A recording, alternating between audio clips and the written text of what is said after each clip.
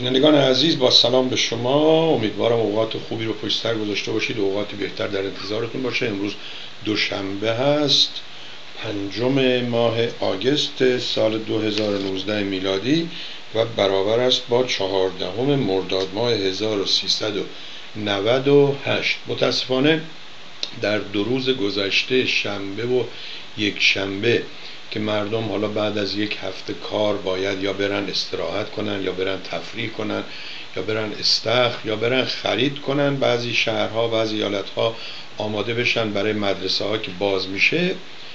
دو تا دیوانه و احمق و واقعا چی بگیم یکی روز شنبه در تگزاس الپاسو تگزاس و یکی هم صبح زود یک شنبه. ساعت یک و نیم اینها در اوهایو که اولی درست به نوشته خودش دنبال رو ترامپ بوده و هست و فکر می‌کنه که داره فرمان ترامپ رو اجرا می‌کنه. ترامپ شارلاتانی که هنوز نیامده به مردم بگه که این یک آدم نجات پرست و به اصطلاح فرقی با افرادی مثل هیتلر و استالین و اینها نداره.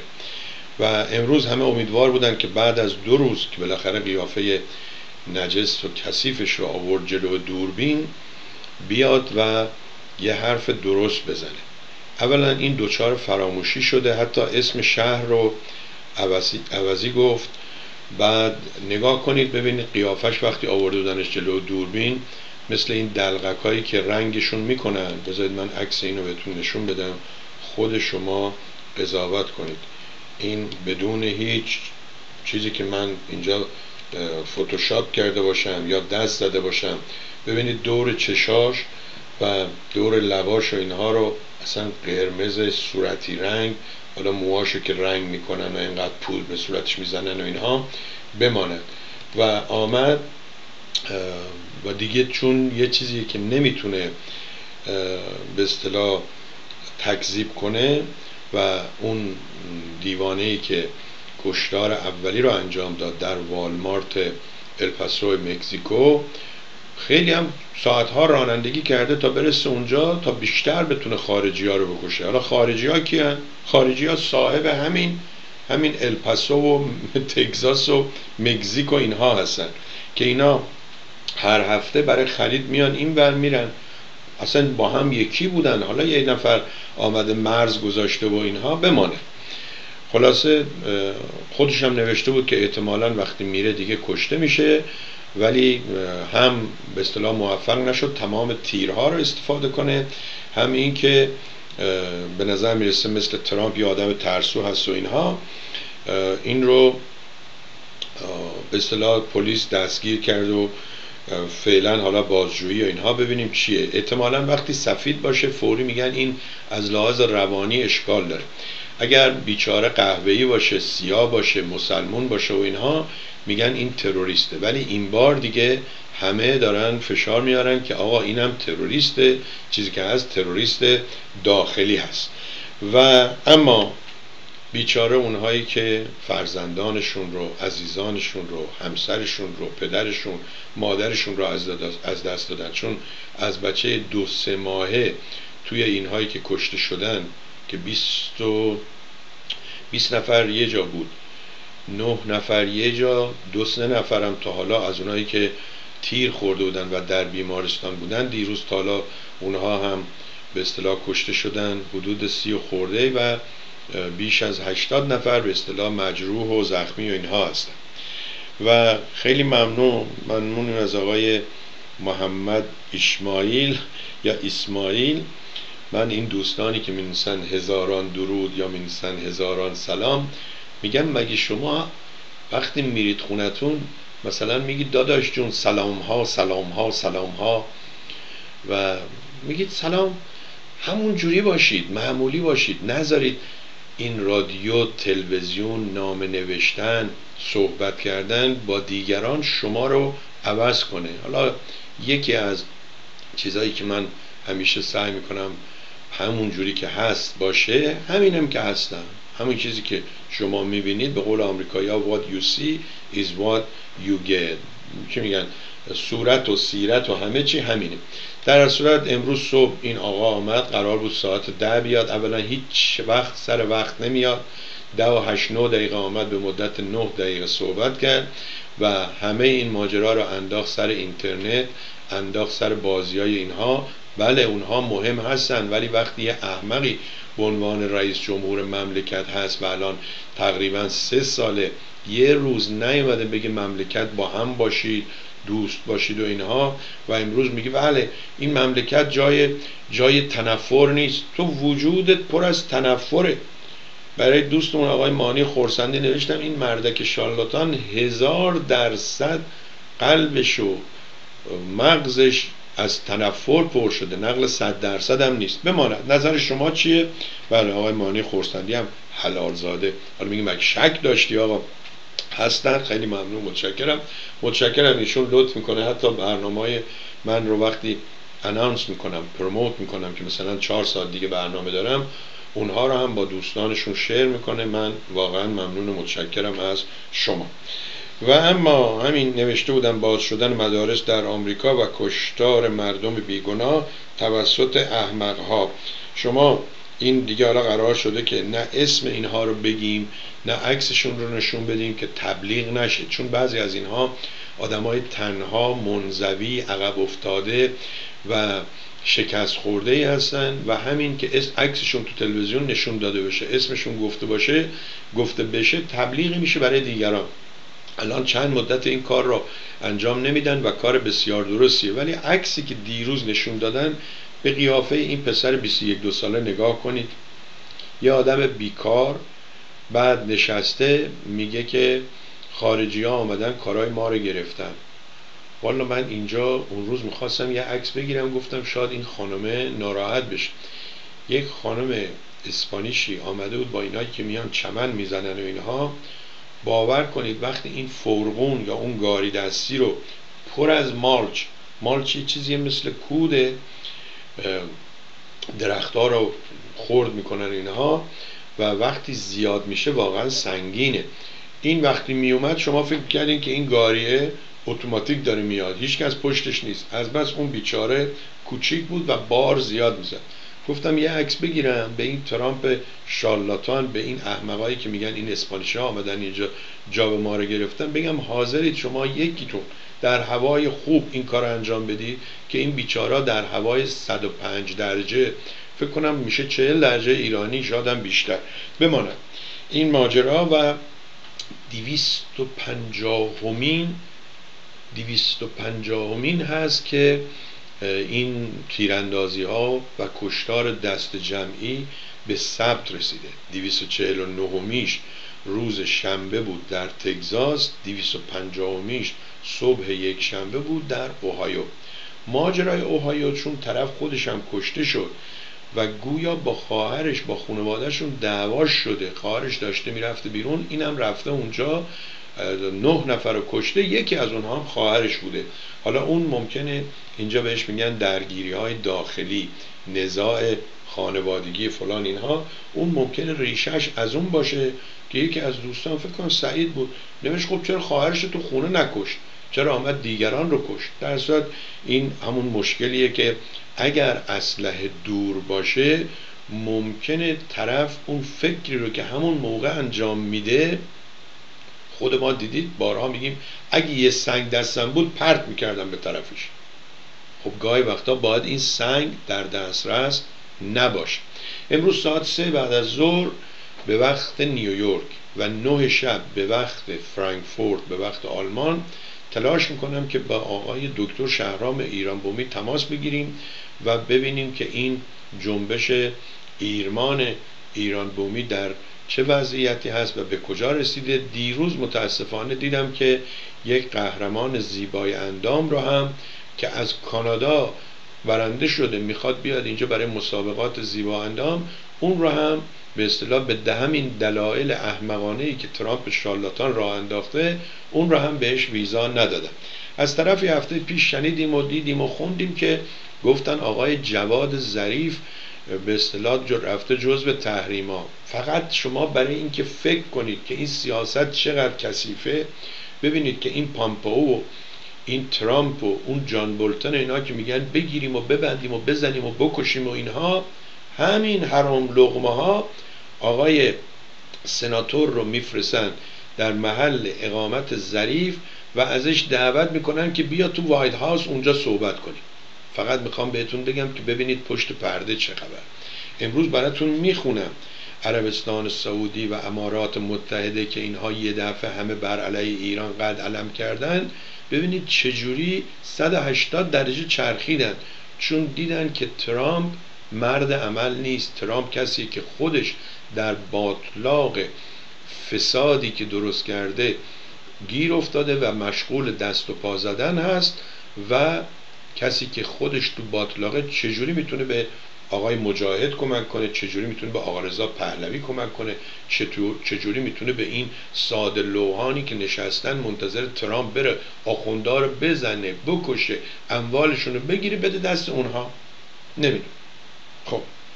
و اما دکتر شهرام ایران بومی با ما خواهند بود. سه بعد از ظهر ایشون گفت من چون در یک میتینگی هستم اونجا نمی‌دونم اینترنت چه خبر هست.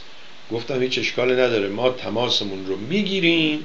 حالا امیدواریم که برقرار بشه. اگه برقرار نشد می‌ذاریم چهارشنبه. مسعود عزیز از کانادا چند دقیقه قبل از برنامه تماس گرفت و گفت آقا من گیج شدم.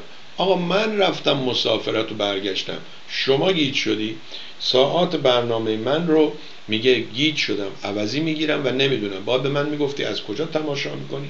تا من تو برنامه بهت بگم از کجا تماشا کن که برنامه زنده باشه. ضمن اینکه همین فیسبوک وقتی زنده هست بعدش باز شما می‌تونی بیای نگاه کنی. ممکن اون موقع شما فکر کنی زنده است.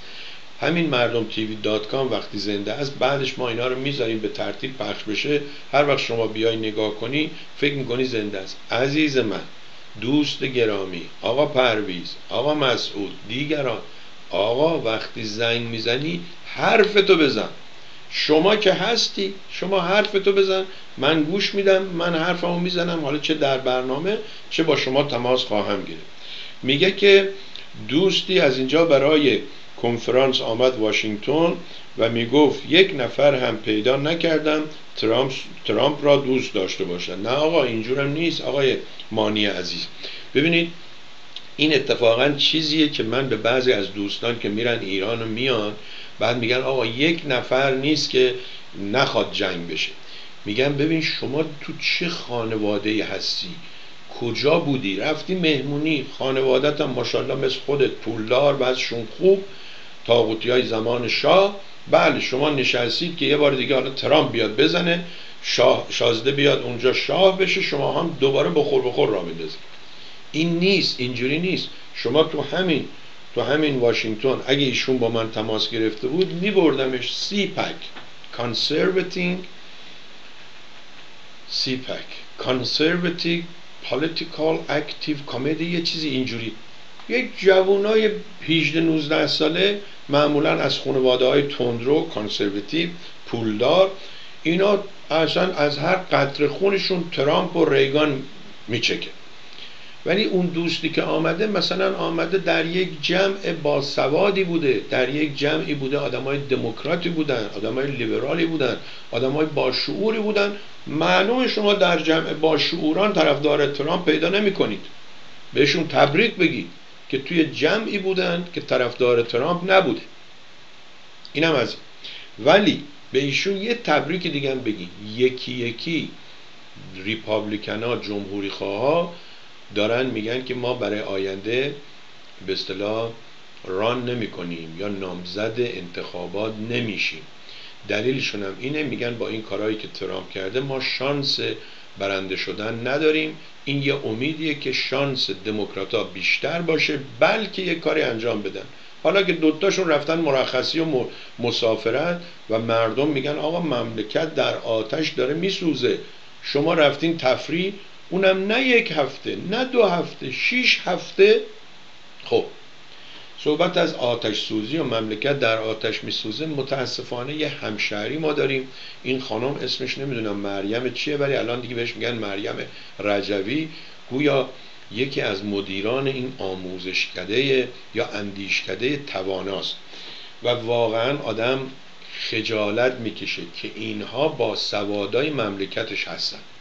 مثلا این خانم خیلی هم آروم صحبت می‌کنه. میگی ببینید همیشه جنگ بد نیست. وقتی جنگ میشه خب بعدش صلح میشه. یکی به این اولاق به این مادینه بگه خب اگه اینجوریه آتش سوزی هم بد نیست. امشب خونه تو آتش بزن. به این امید که فردا یه خونه نو برات می‌سازن. چقدر اینا احمقن. و چجوری اینا به قول اون دوست اون آقای بها ابهری پولهایی می‌گیرن از این ور همین خانم یه میلیون دو میلیون از این ور می‌گیره. هی چپ و راستن و خودشون هم از یکی از خانواده های پولدار شیراز بودن و هستن.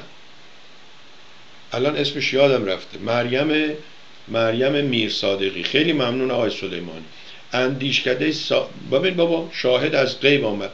اندیشکده توانا با سال یک و نیم میلیون دلار بودجه است. این مال یه جاست. این از یه جا سال یه میلیون نیم می‌گیره. اینا سوراخ دعا رو بلدن. از روزی که میان بلدن کجا برن کجا دلا بشن کجا پول بگیرن بیان و این مزخرفات رو به خورد دیگران بدن. پس شما هم این خانم رو می‌شناسید. شما هم می‌دونید. و این ویدیو خیلی معروفه که میگه جنگ بد نیست. و به خاطر همین الان لقبش رو گذاشتن مریم میر صادقی رجوی. چون درست حرفای اون مریم هرزه رو می‌زنه درست حرفای مسعود مرحوم رجوی رو می‌زنه که ناپدید شده. خجالت آوره حالا اینو شما داشته باشید. من یه چیزایی که بعض وقتا باور نمی‌کنم دوستانی هست که فکر می‌کنم با من هم فکرن. یه دفعه یه جایی من یه حرفی می‌زنم می‌بینم این آقا یا این خانم با من هم فکر نیست. اب نداره قرار نیست ما هممون هم فکر باشیم. قرار نیست هممون یه وزن یه شکل یه قد داشته باشیم. همون جوری که بیرونمون شبیه هم نیست خب این داخل هم نباید شبیه هم باشه. یه دوستی ما داریم به نام آقای فاطمی. فاطمی عزیز که فامیل همون دکتر حسین فاطمی و اینها هستن ایشون در انگلستان یا در یکی از اون کشورهای نزدیک انگلستان زندگی می‌کنن و همیشه لطف دارن برنامه من وقتی نگاه می‌کنن نظر هم میدن. در برنامه قبلی من ابراز خوشحالی کردم که اون آقایی که بچه هاش رو در ماشین فراموش کرد و دو تا بچه دوقلوی یک ساله تلف شدن از بین رفتن خوشحال شدم که اینو از زندان آوردن بیرون تا در جلساتی در مدارس در محل کار به دیگران بگه آقا هیچ چیزی مهمتر از بچهتون نیست. اینو یادتون نره. اگه یادتون بره مثل من بدبخت دیگه نه خواب دارید نه آسایش دارید. تازه دولت هم میاد می‌گیرد میندازه زندان. آقای فاطمی میگه آقا شما بچه ها رو مقایسه کردی با تلفن؟ نه آقا بچه ها رو ما مقایسه می‌کنیم با بچه. خود شما من دیدم بچه دارید نوه دارید عکساشون اونجا هست. یعنی شما میگی امکان نداره که یه وقتی مثلا رو تلفن هستی یه دفعه یادت بره که بچت اینجا تنها نشسته داره تلویزیون تماشا می‌کنه.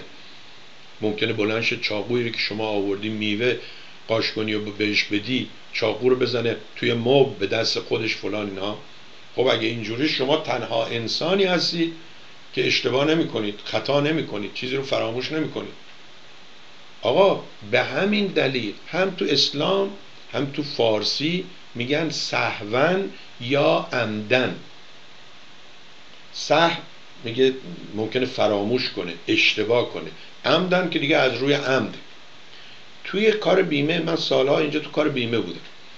این امریکن اینشورنس ایجنسی مال من بود. خب اصلا شما میری بیمه می‌خری. آقا خودت بیمه فروشی ولی یه بیمه می‌خری به نام Error and Omission. من تنها نزدیکترین چیزی که تونستم پیدا کنم تو فارسی همین سهون یا عمدنه.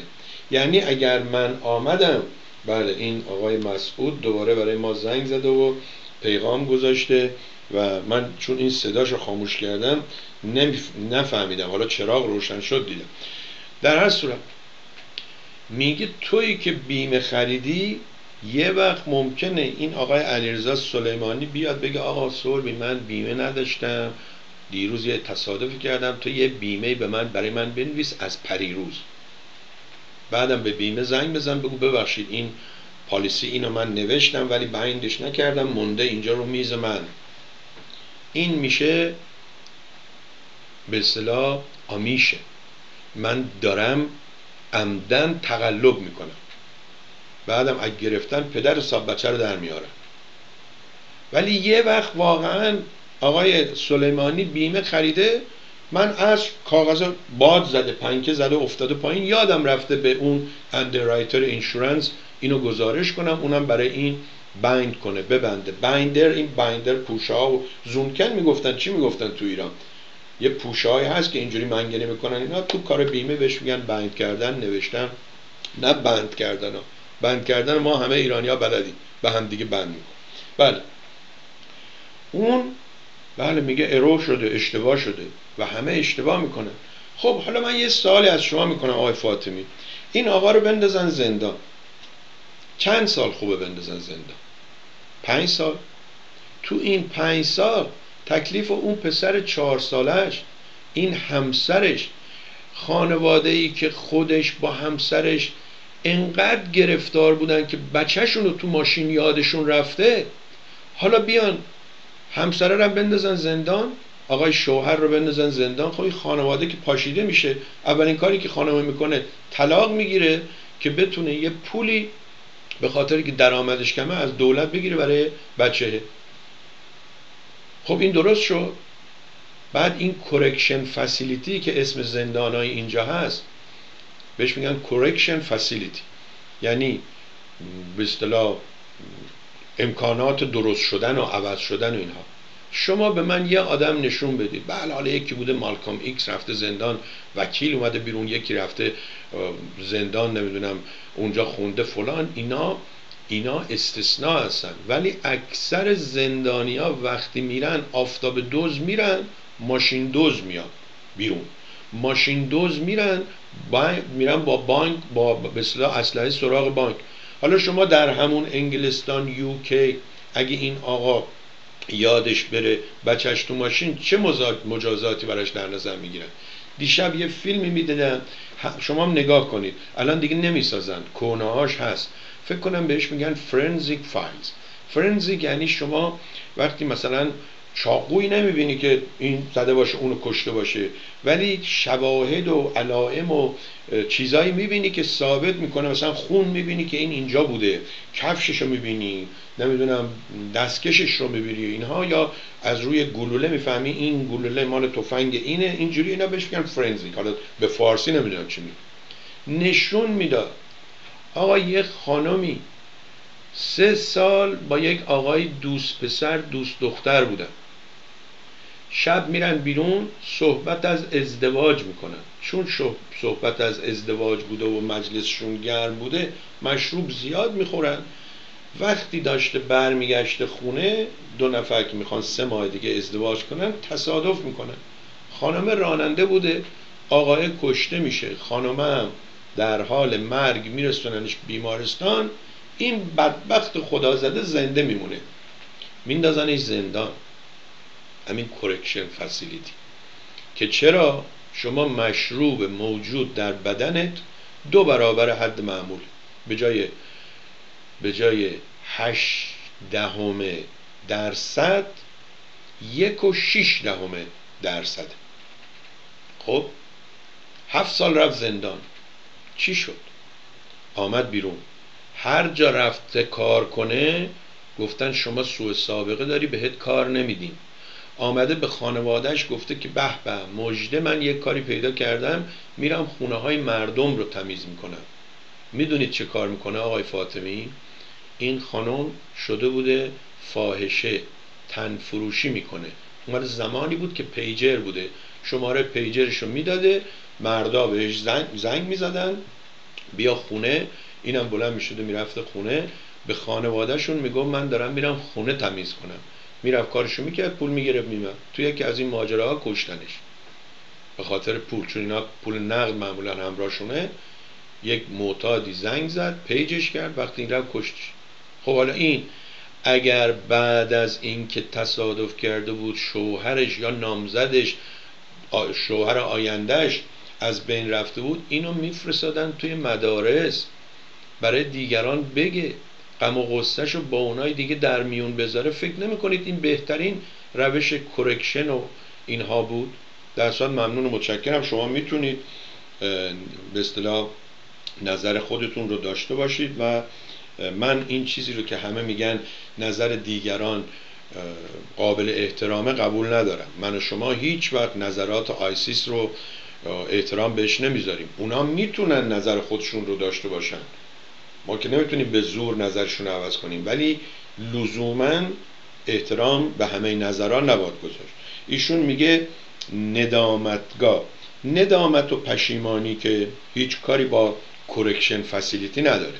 اونو مثلا با redemption و رستگاری و اینا میشه مقایسه کنیم ولی ندامتگاه الان دیدم زندان جمهوری اسلامی مثل که اسم اینا رو می‌ذاره چی؟ مدد مددکار امدادگر امداد مددجو. به زندانی میگن مددجو. یعنی کسیه که آقا به دلیل یه اشتباهی الان احتیاج به کمک داره و به اونایی که زندان بانن میگن مددکار. یعنی اینا کمک می‌کنن به اونها. حالا اونم چقدر؟ نمی‌دونم. ولی ندامتگاه غلطه. ندامتگاه رو در زمان شاه این کلمه رو درست کردن به جای زندان گذاشتن. ولی یعنی چی؟ یعنی هر روز می‌رفتن می‌گفتن آی من پشیمانم پشیمانم. من هم چیزی قبول ندارم. محل تصحیح افراد چجوری صحیحشون می‌کنن؟ شما یه نمونهش به من بگو. شما نگاه کنیم فیلم رو که نشون میده طرف اونجا داره ورزش می‌کنه و اون یکی اونو می‌زنه. حالا تجاوز می‌کنن تو زندان و فلان و بیسار و اینا همدیگر رو می‌کشن و بمانن. ولی چجوری چه برنامه برای تصحیح اینا هست؟ میشونن بهشون یه فیلم درست حسابی نشون میدن. میشونن بهشون درس میدن. من فکر نمی کنم کشورهایی مثل اروپا و اینا فیلماش هست. اونجاها مثل که گویا یک کارایی کردن که اینا چی هم. ولی اگه نگاه کنید یکی از مهمترین پروگراماشون اینه که اینا رو تو زندان زیاد نگه نمیدارن و اینا رو زودتر برمیگردونن تو جامعه. چون هرچی شما یه نفر رو از جامعه دور نگهداری میشه مثل سازمان مجاهدین. سازمان مجاهدین اینا رو سی سال دور نگه داشته الان به طرف میگن آقا ما دیگه تو رو نمی‌خوایم برو بیرون می کجا برم؟ من دیگه نمی‌تونم زبان آلمانی یاد بگیرم نمی‌تونم خرید کنم فلان هم اونجا مونده.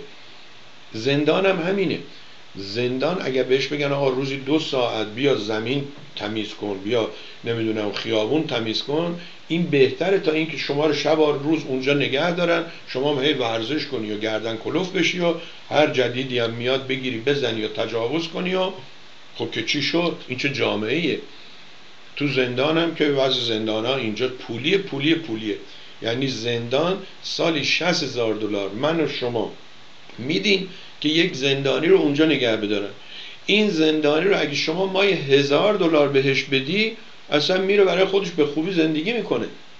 همین چیزی که یکی از این آقای آقای ینگ مثل که می‌خواد این کار انجام بده. نامزد رئیس جمهوری آمریکا هست. در صورت ممنون متشکرم.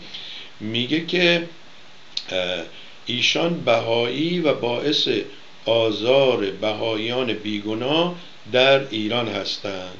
همون خانومه خب ننگ بر ایشون.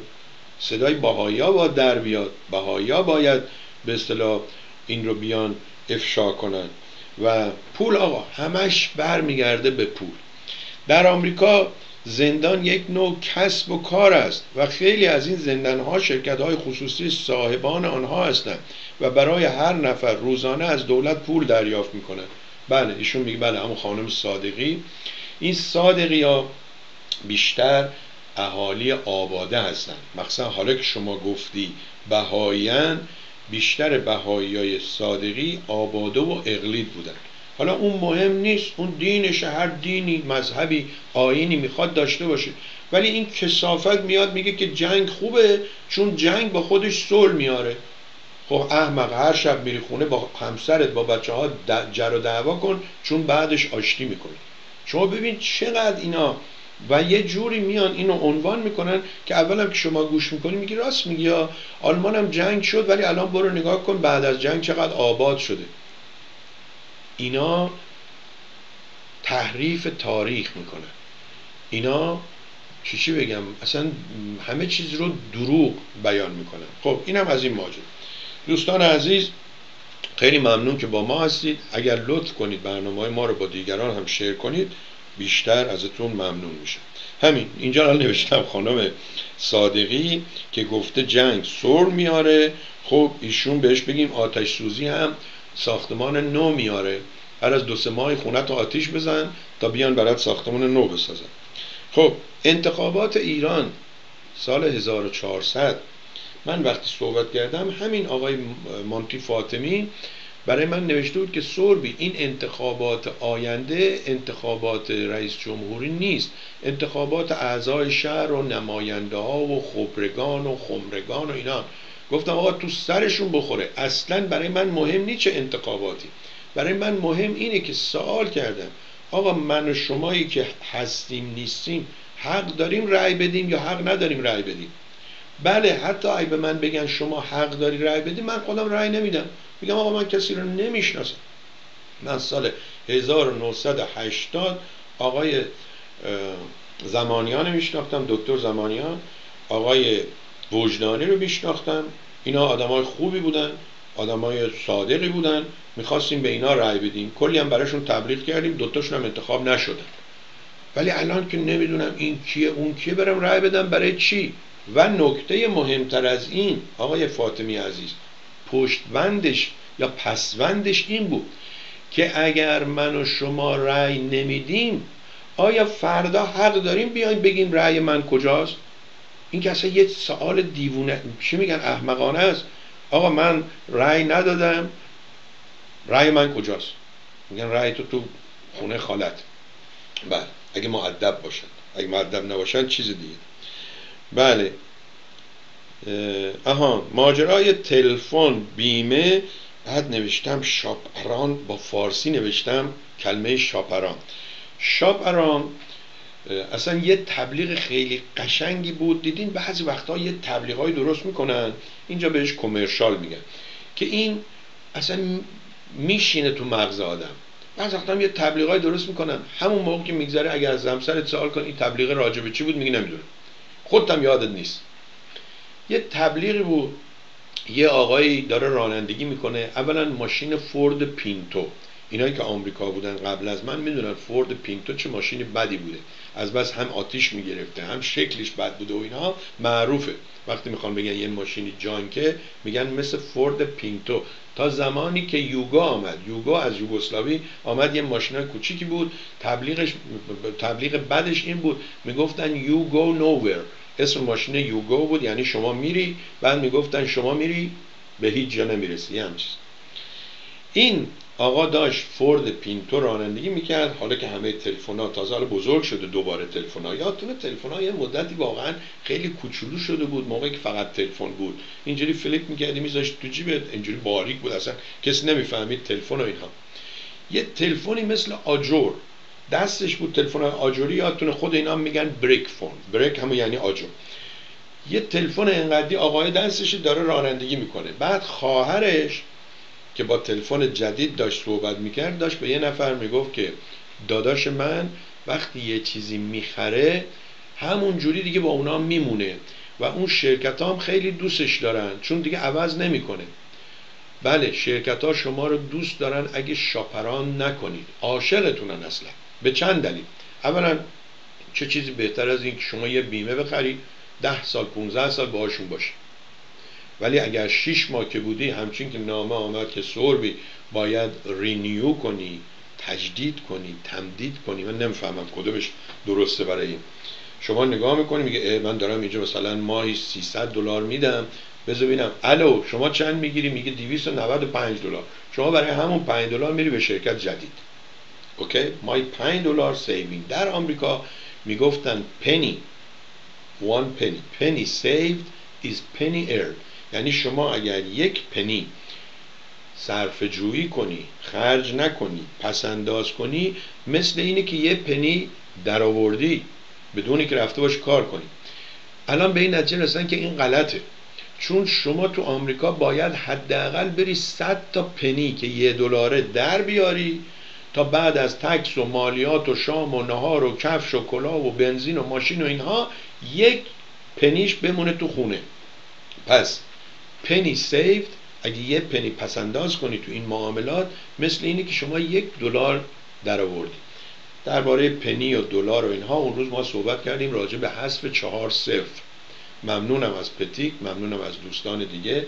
دیدم آقای رضا سنا حتی نوشته بودن که این ممکنه مشکلات ممکنه مشکلات اقتصادی رو حل نکنه.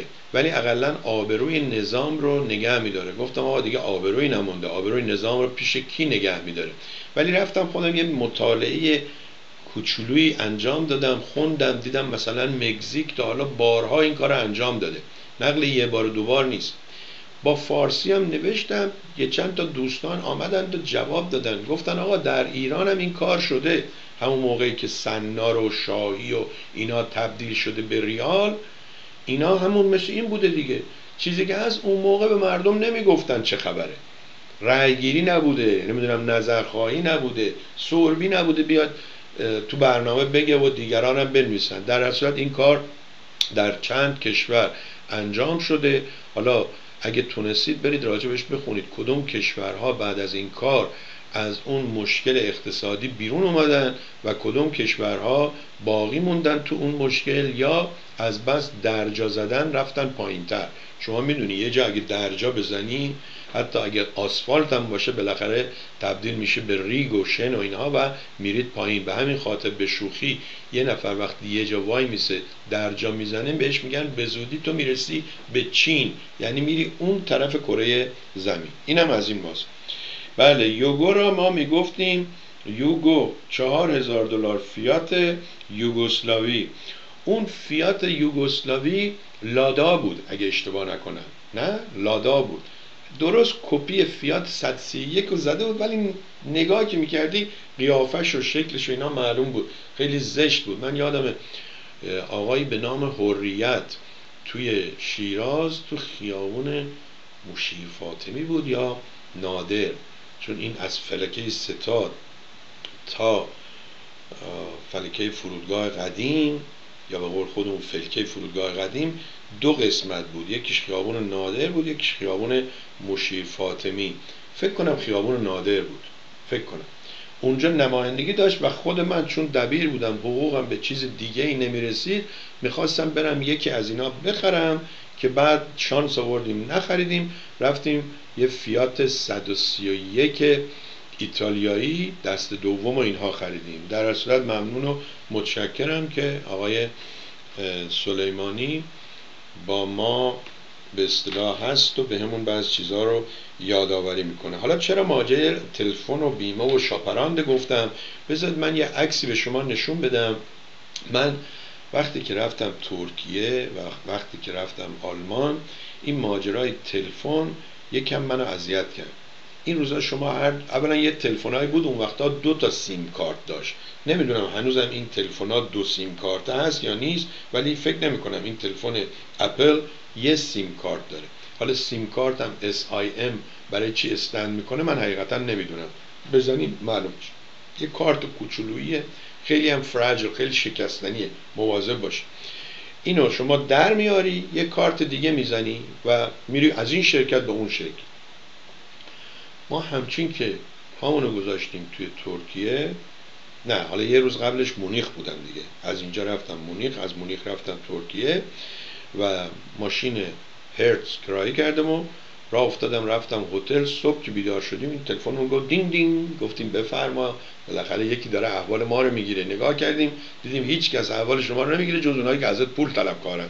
گفت آقا چی کار داری می‌کنی؟ دیروز تا حالا نمی‌دونم. انقدر مگابایت دیتا استفاده کردیم گفتیم کی؟ ما؟ استغفر الله ما از کارا نمی‌کنیم. گفت بله تلفنت رو خاموش نگذاشته بودی. به جای اینکه وای فای یا نمی‌دونم اون آفلاین و اینا استفاده کنه اینجوری استفاده گفتیم حالا چه کار کنیم؟ خانم آدم nice ی بود. گفت که ببین من برای یه روز charge ت می‌کنم ده دلار و دو دلار مالیاتش دوازده دلار. شما الان دیگه این تلفن رو اینجاش اینجوری کن اونجاش اینجوری کن گفتیم باشه. همونجا نگاه کردیم یه شرکتی بود به نام Turkcell. تورک ترکیه cell م cell phone. رفتیم گفتیم آقا شما سیم کارت داری گفت بله. گفتیم یه سیم کارت گفت 150 لیره. 150 لیره میشه 30 دلار. گفتیم بده. گرفتیم گذاشتیم تو تلفنه. آها بهش گفتم به پسر بیا این تلفن من شما بذار. آقا هم اسمش محمد بود. من محمد میگن محمد اینجوری. گذاشت و اینا بعد گفت که دین دین دین بزن آیفون تو. گفتم من می‌زنم ولی یادم نیست. همیشه رو ایمیلم و باید نگاه کنم فلان اینها. گفت که حالا ما اینجا حالا خود شرکتی که داره داره cell phone میفروشه و سیم کارت میفروشه گفت امروز ما وای فای قطعه شما هتل که رسیدی این بزن درست میشه. گفتیم چشم 150 لیر رو دادیم به این آقا و رفتیم هتل زدیم نوشت invalid سیم کارت. این ولید یعنی این کارتی که شما گذاشتی اعتبار نداره کار نمی‌کنه. گفتیم حالا فردا صبح میره اون درست شد فردا صبح رفتیم یه جایی هم هست که همه میرن. یکی میدون تقسیم اسمش که خودشون میگن تقسیم. یکی هم خیابون استقلال. یه خیابونیه که ماشین دیگه داخلش نمیره و بیاد همه آدما را میرن. منو یاد لالزار تهرون انداخت و پر از فروشگاه هست و اینا و پر از ایرانی پر از مسافر اینها بمانه. رفتیم اونجا رفتیم تو این شرکته گفتیم آقا السلام علیکم و رحمت الله. این گذاشتید کار نمی‌کنه. پسره گفت بده من تق تق تق, تق. دیدینم چقدر تون می‌زنن؟ گفت بله درست کار نمی‌کنه. شما ایرانی هستی یا آمریکایی هستی؟ گفتم والا ما ایرانی هستیم که آمریکا هستیم. گفت آها این مال آمریکا قفل کار نمی‌کنه. گفتم ای خدا کنی یه قفلی بزنم به دهن این ترامپ چرا تلفن ما رو قفل کردن؟ گفت باید زنگ بزنی اونا آزادش کنن. گفتیم آقا ما حالا چند روز اینجا هستیم حوصله این کارا نداریم. این چیزه رو از ما پس بگیم ما نه تو آمریکا چهل سال سی چند سال اینجا اسپول شدیم لوس شدیم نونور شدیم. ناز نازی نازمون می‌کشن. گفت پس بگیرم. یعنی چی پس بگیرم؟ گفتم یعنی من به شما پول دادم اینو گرفتم. حالا اینو به شما میدم شما پول منو بده. گفت نه آقا اون هولوی اینجا که از این خبرها نیست. گفتیم اه چرا؟ این که کار نمی‌کنه. گفت نه اینجوری نیست. گفتیم آقا اون آقا محمدی که اینجا بود خیلی هم انگلیسیش بهتر از من و تو بود کجاست؟ گفت امروز ساعت چهار عصر میاد. باشه. ما قدم می‌زنیم میگردیم و اینها. چهار از برگشتیم. آقا محمد اونجا بود. گفتیم آقا محمد شما یادته من بهت گفتم که من بلد نیستم. این تلفن من اینم سیم کارت شما درستش کن. شما گفتی من وای فای ندارم. شما برسی به یه جا که وای فای داری درست میشه. درسته؟ گفت بله. گفتم شما الان وای فای داری؟ گفت بله. بهشم نگفتم صبح اومدم اینجا. گفتم الان اینو برای من درست کن. گفت OK تک تک تک تک تک از آمریکا اومدی؟ گفتم بله. گفت آقا این آمریکا کار نمی‌کنه. گفتم آهان باید اینو دیروز به من می‌گفتی. بعد گفت حالا ببین اگر قبل از 24 ساعت آمده بودی اینجا من ازت پس می‌گرفتم. گفتم آها وایسا. اون آقا می‌بینی که اونجا وایساده گواره گفتم اون آقا ازش بپرس. من صبح که آمدم هنوز 18 ساعتم نشده بود. ولی اون به من گفت که شما پس نمی‌گیری. این بیچاره توش مرد که چه کار کنه؟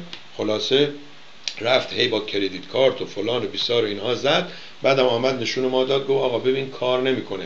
من می‌تونم بهت 150 لیره نقد بدم؟ گفتم چه بهتر. اصلا شما اینجا هر روز من میارم کارتمو میدم. 150 لیره منو چارج کن. 150 لیره بهم بده. نمی‌خواد پول تبدیل کنم نمی‌خواد کمیسیون بدم. خلاصه 150 لیر به ما داد و آمدیم. آمدیم. هر جا می‌خواستیم تلفن بزنیم مشکل بود و سرویس AT&T درست نبود و فوری هم دو تا شرکت دیگه اونجا هی به قول خودشون افیلیت افیلیت همکاری فلان اینها. هی می‌خوان شما رو به اصطلاح بگیرن پول شما رو نمی‌دونم دقیقه 50 سنت دقیقه یه دلار دقیقه دو دلار بگیرن. ما هم هی خاموش می‌کردیم تا رسیدیم کجا؟ رسیدیم آلمان دوباره فرانکفورت روز 18 هم. همچین که از هواپیما اومدم بیرون نگاه کردم دیدم نوشته که اینجا ساعت هشت صبح باز میشه. ما هم گفتیم حالا هفت صبح یه ساعت من وایسم تو فرودگاه چه فایده؟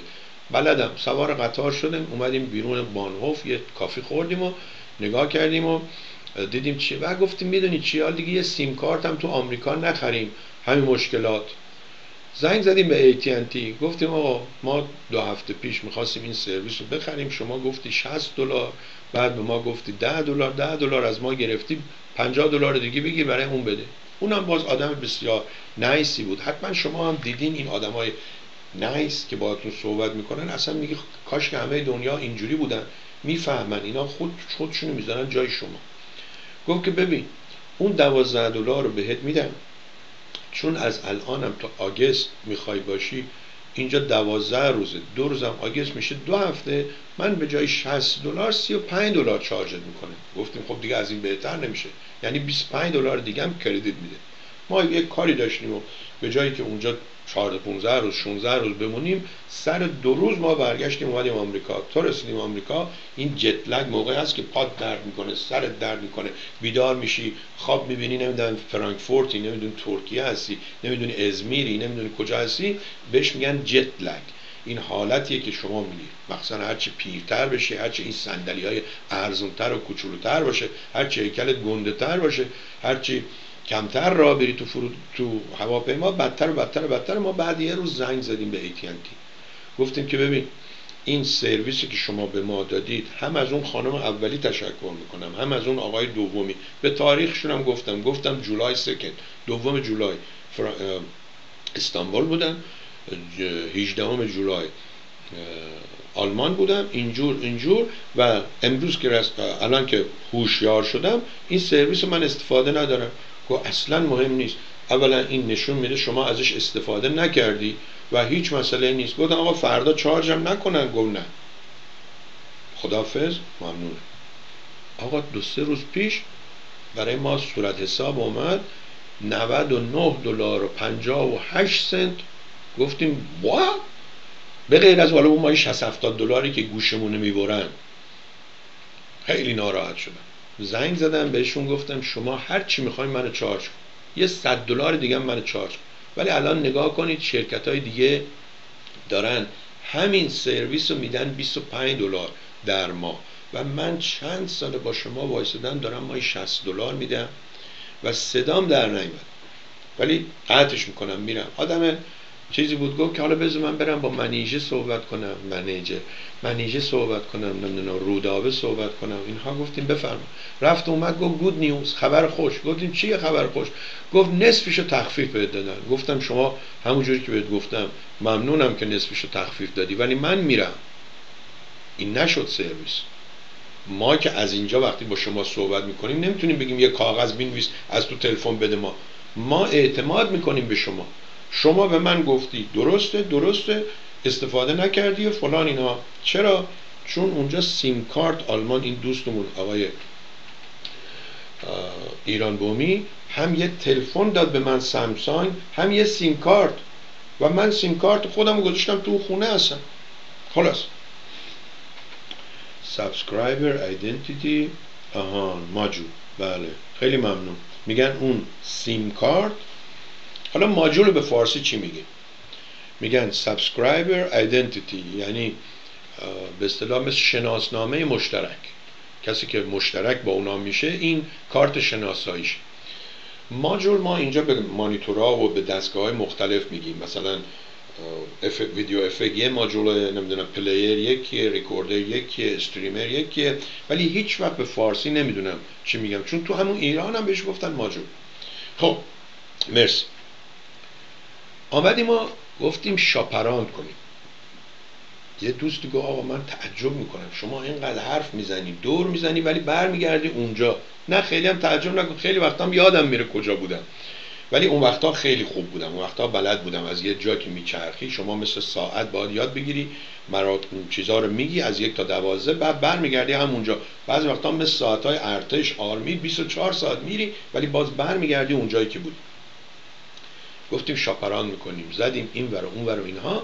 دیدیم اصلا حالا اینا ببین از کجا می‌دونن تو داری چی کار می‌کنی؟ همون کامپیوتر دیگه. از روز که کامپیوتر اینترنت ها آمد و شب و روز ما کامپیوترها رو روشن می‌ذاریم اینا اون پشت اصلا دارن می‌بینن شما کی رفتی توالت با داداشت چی گفتی به مادرت چی گفتی به دوستت چی گفتی همه اینا رو می‌بینن میشنون و ضبط می‌کنن و بمانه همینجور که داشت چون کردیم یه دفعه اسپرینت آمد گفت که ببین یه چیزی بهت میدیم all you can eat. به شوخی. هر چی دلت می‌خواد بخور. حرف بزن عکس بفرست تلفن بزن جی پی اس روشن بزن تو خیابون دور بزن.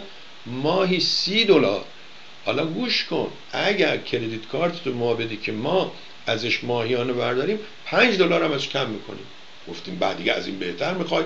بلند شو برو عراق افغانستان که اونجا کشته بشی. خب این دیگه بهترینه. 25 دلار. دوستان در ما بهت میده unlimited. تنها چیزی که به شما نمیده ویدیوی HD نمیده. من چه اصلا با تلفنم ویدیو نگاه می‌کنم؟ دیوونه هستم که بشینم اینجوری نگاه کنم. بعدم برنامه‌ای که ما نگاه می‌کنیم فرقی نمی‌کنه که HD باشه high definition یا standard definition باشه. اون ورش یه مرتکه معتادیه اون ورش سوربیه اون ورش میبودیه. فرقی نمی‌کنه. اینا خوابشون بیدارشون قیافشون فرق نمی‌کنه. تازه اگه نگاه کنن نگاه نمی‌کنه گفتیم اوکی. حالا عکسشو به شما نشون میدم. شما این صفحه رو بعدا نگه دارید. چون اینو برای دوستمون سعید که گفت مای 50 دلار میده فرستادم. گفت آقا اینجا کار نمی‌کنه. گفتم خب حالا من عکسشو می‌گیرم برات میفرستم و امیدوارم کار کنه. شما هم مای 20 دلار 30 دلار سیف کنی به اصطلاح به نفعت بشه و چند تا آبجو خودت بخوری چند تاشم برای ما بفرستی. اینم از این. دوستان نگاه کنید. اسمش هست Unlimited Kickstart. Kickstart این لگدیه که برای شروع می‌زنن. حالا مثل به فوتبال می‌زنن به ماشین هم وقتی می‌خوان هول بدن مونده این کار انجام میدن. ببینید این ورش نوشته که اگه چهار تا خط بگیری ما نمی‌دونم سرویس هلو این هلو هلو خوردنی نیست این سرویس هلو این سرویس های ویدیو و فیلم و این چیزا هست. مثل روکو مثل بگید دیگه اسماشونه. هزار تا هستن. مثل خود یوتیوب اینها. این ور نوشته سمت راست. بذارید بهتون بگم. اینه. اینه. اینو کاری نداشته باشید. سمت چپ رو نگاه کنید نوشته unlimited یعنی غیر محدود. 25 دلار. کیک کیک, استارت نوشته only need one or two lines. یه خط یا دو خط می‌خوای هیچ اشکال نداره. بیا اینجا. ما اینو بهت میدیم. 25 دلار و چنین و چنان. اینه. زنگ بزنید. شماره تلفنتون رو بگید. بهتون میگه این تلفن لاک یا نیست. باید تلفن بخرید یا نخرید. تلفن هم این روزا می‌تونید بخرید 14 دلار. می‌تونید بخرید 20 دلار. یعنی پول یه ماشو برید بدید یه تلفن دیگه تازه اون تلفن خودتونم تو خونه بذارید ازش برای فیسبوک و FaceTime و این چیزا استفاده کنید. این هم سود تلویزیون مردم به شما. حالا شما هی این ور بشینید بگید آقا ما چیزی یاد نگرفتیم. والا بلا یاد گرفتید. چیزی که از موقعی پول رو save می‌کنی می‌ذاری تو جیبت یاد ما نیستی که بگی آقا من الان مثلا ده ماه به خاطر این چیزی که سوربی گفت ده تا 20 دلار. سود بردم یا پسنداز کردم 200 دلار. آقا 20 دلارش بفرستم برای این تلویزیون. از دوستانی که لطف می‌کنن و حمایت می‌کنن ممنون و متشکرم. از دوستی که برای من نوشته بود الان شرایط کار خیلی بده. به دلیل همین دلار عوض شدن و اینها به دلیل همین کشورهای عربی و اینها اینجوری قاطی پاتی هستن. ولی برای که من به شما نشون بدم که به اصطلاح برنامه دوست دارم و حمایت می‌کنم این مبلغ فرستاده بود. ممنون و متشکرم. هنوزم وقت نکردم برم بگیرم ولی ممنون از لطف شما و متشکر. خیلی ممنون. دوستان عزیز بذارید چند تا برنامه دیگرم براتون بگم و بعد بریم سراغ آقای دکتر شهرام ایران بومی. بومی با این امید که ایشون جایی باشه که اینترنتش به ما اجازه بده و به اصطلاح بتونیم تماس داشته باشیم. بله. میگه که I'm still in meeting and it take longer time. خیلی ممنون. آقای ایران بومی خیلی آدم مرتبیه با همه این مشکلات و اینها. من دیدم که مثلا اون روز که با ایشون بودیم حالا اون شور تو سرش کار باید بکنه این تظاهرات اینجا اون دوستان اونجا. هر دو دقیقه یکی زنگ می‌زد آدرس می‌خواست. آقا کجا بیایم چه کار کنیم اینها. ولی می‌دیدم خیلی مرتب همه اینها رو یادش میمونه. به اون اینجوری میگه به اون اینجوری میگه جواب اونو میده. و واقعا یک کسایی برای این کارا دو نفر سه نفر فقط چیز می‌خوان. منشی و سکرتر و رئیس دفتر و اینا این همه این کارها رو خودش تنها انجام می‌داد. و من واقعا به قدرت و مقاومت این شخص باور پیدا کردم. ممنون و متشکر نوشته که این میتینگی که داخلش هستیم ممکن زمان بیشتری چون من بهشون گفتم آقا وقتی هم اومدی اینجا مثل بی بی سی نیست که هی بخوام قطعت کنم. هر چی دوست داریشتی بگو. از این ماجرا از اون ماجرای اون ورزشکاری که نگذاشتن از کانادا بیاد و الی آخر. خب اون دوستمون یادتونه که از زندان سیاتل واشنگتن باهاش تماس گرفتیم. آقای شادانلو هنوز در پی این هستن که اگه بشه به این بنده خدا کمکی بکنیم. ما حتی شماره تلفن یک دوستی که اینجا وکیل هست و خیلی تو این کارهای وکالت و اینها وارد کیسای خیلی مشکل رو مثل آقای ایران بومی که کیسای خیلی مشکل رو تو آلمان حل می‌کنه ایشون هم کیسای خیلی مشکل رو اینجا به اصطلاح تو آمریکا تو این منطقه یا جای دیگه حل کرده. این رو نوشتیم و معرفی کردیم. بله. و گفتن که اگر بشه من یک برنامه دیگه داشته باشم. می‌دونید که من قرار گذاشته بودم با آقای با آقای علیرضا کریمی صحبت کنم ولی اونجایی که من گفتم آقا شما توی یکی از مصاحبات رو گفتید که به نماینده به بازرس یا مسئول یا افسر اداره مهاجرت گفتید که این پولای دزدی رفسنجانی اینها و اون آقا یا خانم خانم سابرینا سابرینا.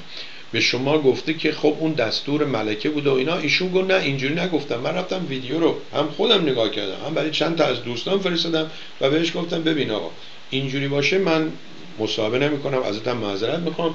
ولی تو تلویزیون مردم همه می‌تونن برنامه خودشونو بگیرن ساعت خودشونو بگیرن هر چی دلشون می‌خواد بگیرن. ولی اینجوری حالا یه برنامه می‌ذاریم با ایشون صحبتی داشته باشیم. خب اجازه بدید که ما ببینیم چه ایمیلی دوستان فرستادن و چه باید کرد. این هم از این. بله در رابطه با ظریف یه دوستی نوشته آقا مگر حکم جلب هاشمی رفسنجانی و دیگران را صادر نکردن چه مزیتی چه سودی به نفع من و شما ایرانی داشت. و ظریف الان بی بی سی گفته که آقا به ظریف گفتن بیا تو کاخ سفید. خیلی ها از این ور میگن این طرف دزد هیزه نمی‌دونم خطاکاره نباید بیاد آمریکا از اون ور دعوتش کنن کاخ سفید. بماند. اقتصاد امارات.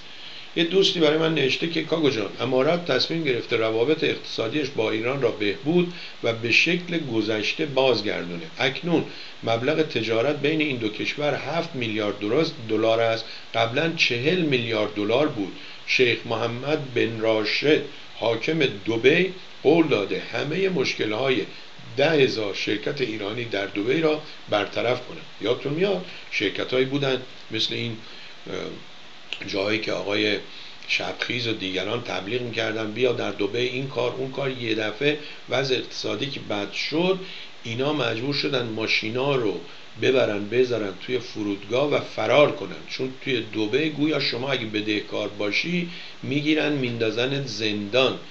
آمریکا چون مثل ما ایرانی هاست ایرانی ها دیدی که میگه آقا جون رو خدا می‌گیره فلان رو طلبکار. آمریکا هم همینجوره. شما اگه یکی بهت بدهکار باشه میری دادگاه کلی هم پول خرج می‌کنی. on the top of that بدهکاری یه تیکه کاغذ میدن دستت که بله این سربی با آقای سلیمانی بدهکاره. بعد سلیمانی هم هر جا میره به دوستاش میگه دوستاش میخندن. میگن تو چه ساده ای که رفتی تو آمریکا judgment گرفتی. گرفتن judgment یک قسمت کار پول پیدا کردن و گرفتن پول از طرف 99 قسمتش. اینم از این ماجرا. خب و میگه اینها نه برای چشم ابروی ایرانی هاست بلکه وخامت اوضاع اقتصادیشان فشار آورده که این کار را انجام بدن. امروز قطر با طرف ایرانی در تهران پیرامون امنیت خلیج فارس گفتگو کردند و قراردادهای امضا نمودند ظریف از عربستان امارات برای بهبود روابط و همکاری در منطقه دعوت کرد. چرا دوستان؟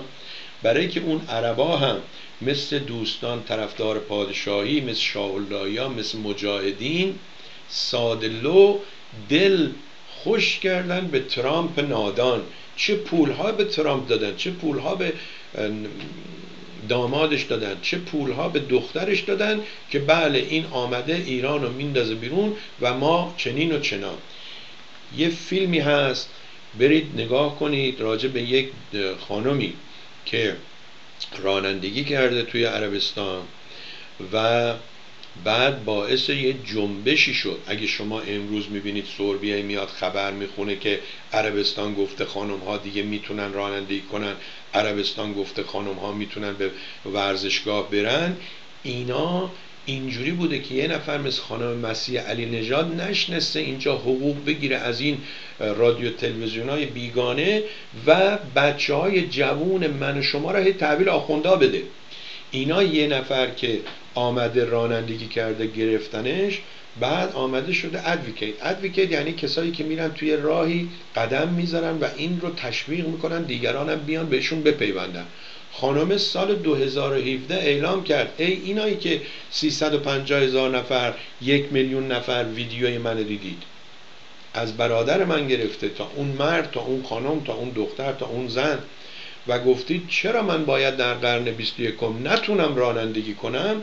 روز مثلا جولای فلان بیاین بیرون رانندگی کنی و اونها هم آمدن. اینی که هی سربی میگه آقا آقای شهرام همایون تو رفتی سر قبر محمد رضا پهلوی تاسوعا آشورا سینه زدی.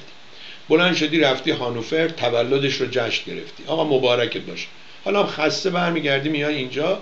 بعدم میگی چون من نبودم اینجا کمبود پول داریم بده بیاد. چه قدمی برداشتی؟ ساعت سه شد. زنگ بزنم ببینم هست آقای ایران بومی یا مشکل به اصطلاح؟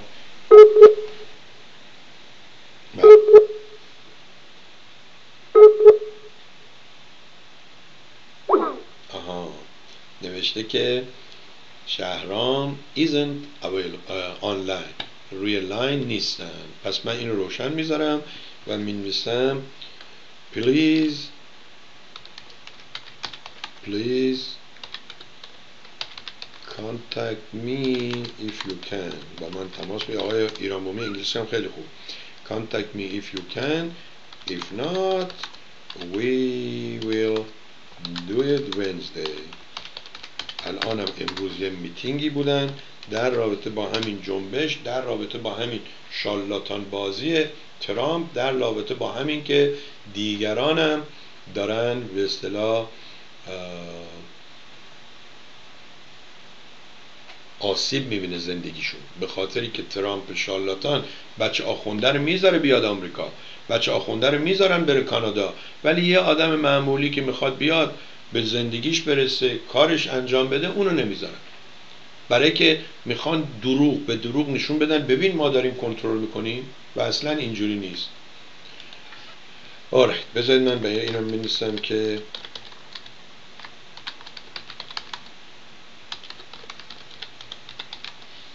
OK ایشون سوال می‌کنه که مودم Verizon داری؟ گفتم والا ما یه مودمی داریم ولی نمی‌دونم مال Verizon یا نه. چون اینا هم پدر بازی در میارن یه چیزی می‌ذارن که شما مثلا یادتونه از همون قدیم هم بود میگو روغن ترمز پیکان رو نریزی تو بنزا لاستیکای چیش سوراخ میشه. روغن ترمز فولکس واگن رو نریزی تو نمی‌دونم هیلمن ها خراب میشه. اینا اینجوریش می‌کنن انحصار منحصر به خودشون باشه. اپل این کارو می‌کنه شرکت های تلفن این کارو می‌کنن و الی آخر.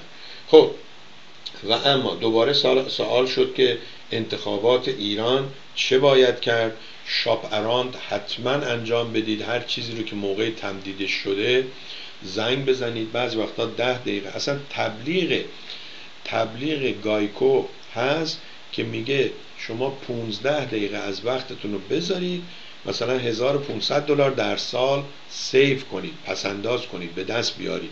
البته انقدر نیست ولی بعضی وقتا اینجوری هست. و مطمئن باشید که سیب رو با سیب مقایسه کنید.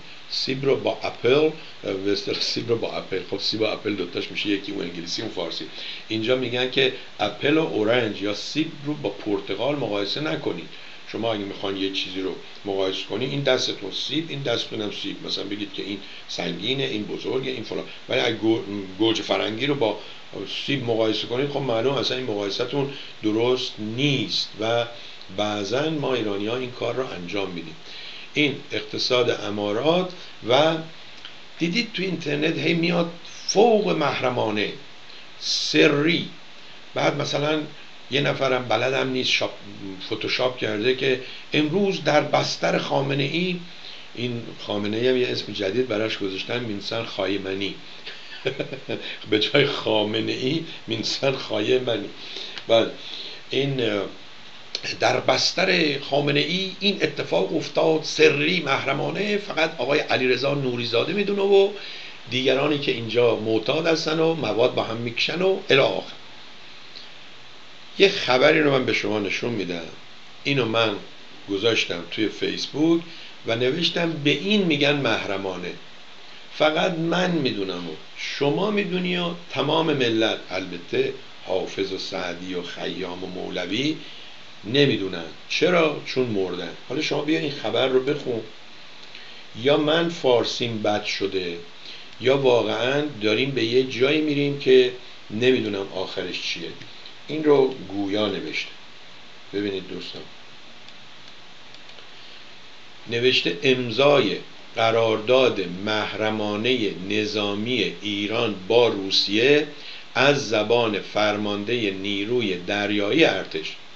حسین خانزادی فرمانده نیرو دریایی ارتش جمهوری اسلامی ایران که هفته گذشته به روسیه سفر کرده بود از انعقاد یک قرارداد نظامی محرمانه با این کشور خبر داد و گفت بندهایی از این توافقنامه دارای طبقه بندی است اما برای نخستین بار است که چنین توافقی بین دو کشور صورت می‌گیرد. سخنان فرمانده نیرو دریایی ارتش درباره قرارداد محرمانه نظامی با روسیه در حالی بیان شده است که جمهوری اسلامی در چند سال گذشته و برای اولین بار از زمان جنگ جهانی دوم تا کنون به روسیه اجازه داد که جنگنده بمب افکنهای استراتژیک خود را در پایگاه هوایی همدان مستقر و از این پایگاه به عنوان مرکزی برای بمباران مناطقی در روسیه استفاده کنند آقا کج بشین. درست بگو راست بگو. همون ماجرای بعد انقلاب اون ماجرای صحرای توس ماجرای نمی‌دونم طوفان خدا که زد این آمریکایی بیچاره رو انداخت اونا هم با همکاری روسیه بود. ضمنا روسیه قرار بیاد توی خلیج فارس و اونجا مانور مشترک داشته باشن. ولی من این خبر رو فقط برای این خوندم که این احمقا خودشون از این ور میگن محرمانه و کسی که خودش رفته این قرارداد محرمانه رو بسته الان اومده داره اینجوری افشا می‌کنه و میگه. به کجا میریم؟ نمی‌دونم. از این حالا جالبتر آقای آه این مانی خورسندی میگه اون خایمنی کار منه. خدا معلومه دیگه. از کسی به غیر از شما و داداشتون این نوع تنزها تنز حقیقت تلخ دیگه به اصطلاح درست نمیشه. توصیه رهبر ایران به فرزند آوری بیشتر گفته در آمریکا هر خانواده نه هر خانواده بعضی از خانواده آمریکی آمریکایی 15 تا 20 فرزند می آورن این کرخه میشینه تلویزیون نگاه می‌کنه مثلا یک کسایی هست در طرف های یوتا و اینها. اینا دینشون از اون دیناییه که هنوز وقتی با زنشون میخوابن بینشون یه ملاف می‌ذارن مثل کلیمیا. تنشون نباد همدیگر رو لمس کنه. دینشون یه دینیه که میگه حالا 20 تا بچه داری خب 20 تا بچه داری. خدا خواسته هر آن کس که دندان دهد نان دهد. بعد اینا 20 تا اینا دارن. و الا توی آمریکا آقای خامنه ای از بس دیگر اینا گفتن خایمنی منم میگم خایمنی آقای خامنه ای توی آمریکا توی اروپا برید رشد جمعیت رو نگاه کنید. میگه رشد جمعیت به اصطلاح نگران کننده است. انقدر کمه که نگرانی از این داریم که خارجی ها و مسلمون ها اینجا تعدادشون زیاد بشه. بعد شما که این کار رو تجربه کردید خمینی گفت که ارتش اسلام نمی‌دونم سرباز می‌خواهد. احمدی نژاد آمد گفت که پول میدیم نفر یه میلیون تومن پول میدیم و مردم به این نتیجه رسیدن که اونا کارخونه بچه سازی نیستن که بچه بسازن. تو نمی‌دونم مجتبات و فلان و بیسار اینا جلو شق را برن این بدبختا رو بفرستی جبهه تو این جنگ جبهه تو اون جنگ کشته بشن. در صورت اینم چیزی بود که امروز آمده بود و من تعجب نکردم حقیقت خواستم بگم خیلی تعجب کردم دیدم نه تعجب نکردم. بریتانیا به ائتلاف نظامی آمریکا در خلیج فارس برای تأمین امنیت کشتی های تجاری میپیوندد. یه مصاحبه هست از محسن رضایی برید حتما ببینید. میگه آقا ما مثل تو خیابونایی که میگن اینجا ماشین زیاد میره این خیابون از این وریه اون خیابون از اون وریه. میگه همه هم می‌دونم حالا سعی می‌کنم از آقای آریانپور یه روز دعوت کنم بیاد ایشون صحبت کنه راجع به تنگه هرمز. میگه چون تنگه هرمز خیلی کوچولوه ما گفتیم که مثلا از این طرف برن از این ور بیان. میگه این انگلیسی از اون ور داشته میمده که ما گرفتیمش. من خندیدم گفتم شاید اینا مثل رانندگیشون که ما آمریکایی‌ها این ور رانندگی می‌کنیم کانادایی‌ها این ور رانندگی می‌کنیم ولی ژاپن و انگلیس این ور رانندگی می‌کنن. شاید مرده که خل... ملوان نه ناخدای کشتی بوده فکر کرده داره ماشین میرونه تو انگلستان توی تنگه هرمز آمده اون ور و اون ماجراهای دنبالش رو برید ببینید و ببینید که این محسن رضایی چجوری از موضع قدرت صحبت می‌کنه؟ میگه ببینید الان چجوری این عربا جا زدن ببینید چجوری آمریکا جا زده. البته یه نکته ای رو که ایشون نمیگه نمیگه که مردم ما تو این دوران تو این به اصطلاح این مین تو این فاصله چه ضررهایی کردن. اونو نمیگه. و این همون حرومزادگی سیاستمداران است ولی از طرفی اون چیزایی که میگه درباره این که انگلستان نمی‌دونم روباه پیر هست و انگلستان چنین و چنان به ما میخنده به اونوریا اسلحه میده و اینها حرفش به نظر من درست. ظریف گفته ظریف گفته شد که ظرف دو هفته تحریم می‌شوم مگر اینکه آن پیشنهاد را بپذیرم؟ کدوم پیشنهاد؟ همون که بهش گفته بودن باید بیاید توی وایت هاوس فکر کنم با ترامپ شالاتان صحبت کنی. اینم گفته بود آقا ما صحبتی نداریم. کسی که نخونده رفته این قرارداد برجام رو به هم زده من بیام با کی صحبت کنم؟ این نه اهل خوندنه نه اهل منطقه. این قسمتاشو ظریف درست میگه. و شما فکر کنید که این آخوندا ظریف اونایی که همراهش بدن اینا دیگه چی که گول اوباما و به اصطلاح اینایی که اینقدر ادعا می‌کردن چل سال تو مجلسن پنجاه تا تو مجلسن زدن قرارداد بستن ولی این آمد اینجوری فعلا گرفتتش و یقه همه اینجا گرفته شده. هم اروپا هم آمریکا هم ایران. چه باید کرد؟ ببینیم دوستان چی میگن. بله ظریف هم اینجا گفته که محمد جواد ظریف وزیر امور خارجه ایران می‌گوید دلیل تحریم وی از جانب ایالات متحده رد دعوت جمهوری خواهان این کشور برای رفتن به کاخ سفید بوده است. آقای ظریف روز دوشنبه 14 مرداد در یک کنفرانس خبری درباره خبر دیدارش با رن پال سناتور آمریکایی و رد پیشنهاد وی برای بازدید از کاخ سفید بازدید از کاخ سفید نمی‌خواستن به تور بدن که میگن بیا ملاقات که درباره یه چیز صحبت کنیم. از کاخ سفید در جریان سفر به نیویورک اظهار داشت درباره آنچه در مذاکرات اتفاق اتفاق افتاده چیزی مطرح نمی کنم اما در سفرم به نیویورک گفته شد که ظرف دو هفته تحریم می شوم مگر اینکه آن پیشنهاد را بپذیرم که نپذیرفتم. و قبول کنیم نمی‌دونم. قبول نکنیم نمی‌دونم. چون همهشون دروغ میگن. ظریف دروغ میگه خامنه ای دروغ میگه ترامپ دروغ میگه پامپاو دروغ میگه جان بولتون دروغ میگه مجاهدین دروغ میگن رضا پهلوی دروغ میگه شهرام همایون دروغ میگه سوربی دروغ میگه رضا زرابی دروغ میگه امید دانا دروغ میگه. هر کسی نه حالا به امید دانا تماس گرفتم گفتم من از دلخور نیستم یه سوال تکنیکی دارم. بله. آقا کدام سوربی دست قیب شد؟ و یا کدام دست قیب سربی شد. خیلی سوال خوبی کردید ببینید داداش بزرگ من اسمش خلیل. روز 15 خرداد 1342 من کلاس اول دبستان بودم.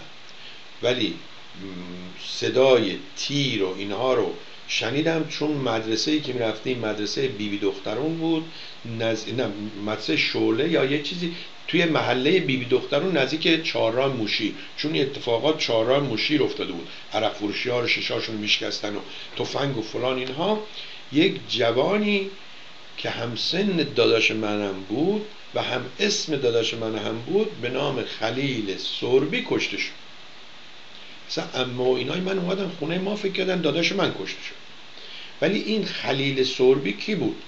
خلیل سربی پسر خواهر دستقیب بزرگ بود. حسین دستقیبی هم چیزی همون که مجاهدین منفجرش کردن. و پدر اون اسمش عزیز سربی بود.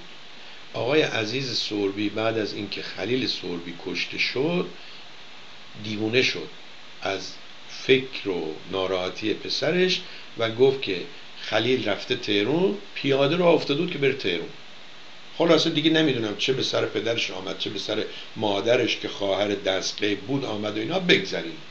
گذشت و رفت این خلیل سربی خلیل سربی بود تا انقلاب شد. انقلاب که شد کتابخونه ملی شیراز شد کتابخونه دستقی آقای مرده خلیل سربی شد خلیل دستقی ای واقعا ننگ بر شما بیناموسا که اگه اینقدر اینقدر خوب بودید مردم نمی‌رفتن دوباره بگن صدر احمد به اون کفن دوز اولی. و این بیناموسا کارایی کردن که مردم مثلا شاءالله یا از سوراخاشون در اومدن هر جا میری میگه آقا اون که بهتر بود. هیچ که نمیگه اون بود که اینا را آورد. و دستگاه بعد منفجر شد. یه خانمی تو کوچه رفته بود سلام علیک و چسبیده بود بهش منفجر شده بود که حتی به شوخی یا جدی یا واقعی می‌گفتن آلت تناسلیش نمی‌دونم روی پشت بام بوده و اینها بماند. دیگه ما بکارونن ولی بله آقای حاج عبدالحسین دستقیب پیر بود. رفته بود یه دختری گرفته بود 18 19 سال. اینها فامیل خلیل سربی رو که به اصطلاح شهید 15 خرداد 1342 بود عوض کردن اسمش گذاشتن دستقیب چرا؟ بگن ما هم شهید دادیم. ما هم حالا حق می‌خوایم از این انقلاب. این ماجرای سربی دستقیب شد یا دستقیب سربی شد این بود. پس خلیل سربی بود. روی قبرش و سنگ قبرش عوض کردن گذاشتنش خلیل دستقیب و اینم یکی دیگه از بیناموسی اینها بوده. اون موقع دستقیب امام جمعه شیراز بود. خود من چندین بار حرفاشو گوش داده بودم. خیلی قشنگ صحبت می‌کرد. هم بلد بود مزه بپرونه مثلا میگو آ بی بی شما نگاه بکن این طرف یه مشکی رو دوششه چند تا سوراخ داره؟ یه سوراخ گردنشه چهار تا پاش. اینا رو محکم گره می‌زنه ولی از اینجا تا میره اونجا ببین چقدر آب leak می‌کنه. و سرشون که تو قسمت زنونه میگه حالا آبی بی شما نگاه کن نه تا سوراخ داری صبح چیزی leak کرده چیزی ازت نشت کرده. یعنی این بیناموس اون بالا هم لاس میزن مردم هم میخندیدن که چقدر با مزه صحبت می‌کنه. این نشسته این و زنش نشسته اون و به زنش میگه چیزی ازت نشت کرده یا نه. بله. اینم ایشون نوشته که آقای خوشنودی میگه گفتن که نمی‌دونم تخم دستقیب روی پشت بوم پیدا شده. بله. دیگه حالا وقتی منفجر میشه همین جوریه. هر یه تیکش یه جا میره. خب ما بله همونجوری که آقای ایران بومی فکر می‌کرد این میتینگشون اکستند شده و اونجا احتمالا اینترنتی چیزی نیست. به من گفته بودن که میرن صبح به طرف ویسبادن همون دنبال برنامه جنبش ایرمان هست. دوستان روی وبسایت روی صفحه روی صفحه فیسبوک مردم تیوی رو پیدا کنید و اونجا این جنبش ایرمان رو می‌بینید. من یکی دو روز دیگه شاید تا آخر هفته هم این رو گذاشتم. بعد برش میدارم عوضش می‌کنم چون به این دوستان پیشنهاد کردم که همه وارد نیستن. از فیسبوک بیان روی وبسایت از وبسایت برن تو قسمت کانتاکت از اونجا برای شما ایمیل بفرستن. شما باید ایکان درست کنی. ایکان رو به ایرانی بگین چی؟ یه علامت های کوچولو که می‌ذارن یه جا مثلا بهش میگن ایکان رو کامپیوتر همتون یا همین app که میگن اون app پشته ولی یه شکلی که اون بالاست این ایکانه علامت. درست کنن؟ آسون کنید کارا رو برای مردم آسون کنید درسته میگید ای بابا دیگه حالا قرن 21 همه بلدن ولی باور کنید قرن 21 انقدر مشکلات مردم زیاد شده که خیلی از چیزهای ساده رو بلد نیستیم ما انجام بدیم. دوستان اینه.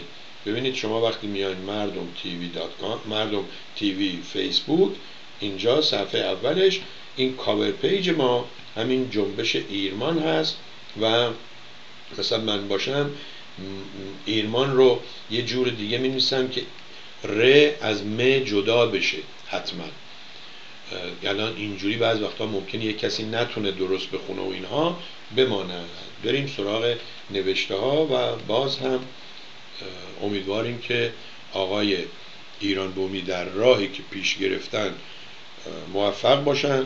من و شما هم اگر برامون امکان هست قدمی قلمی درمی کمک کنیم اگر نمی‌تونیم کمک کنیم زخم زبان نزنیم. دیدم اون روز خانم تنازی نوشته بود که من از اونایی متنفرم که به این پدر داغدار کمک که نکردن تسلیت که نگفتن احساس همدردی که نکردن هیچ بلکه زخم زبون هم می‌زدن. بله میگه که کاکو این چرخ فلکی هست به منظور کلاه گذاشتن سر مردم. شاه پاس میده به شیخ شیخ پاس میده به شاه. نه آقا امیدوارم اینجوری نشه.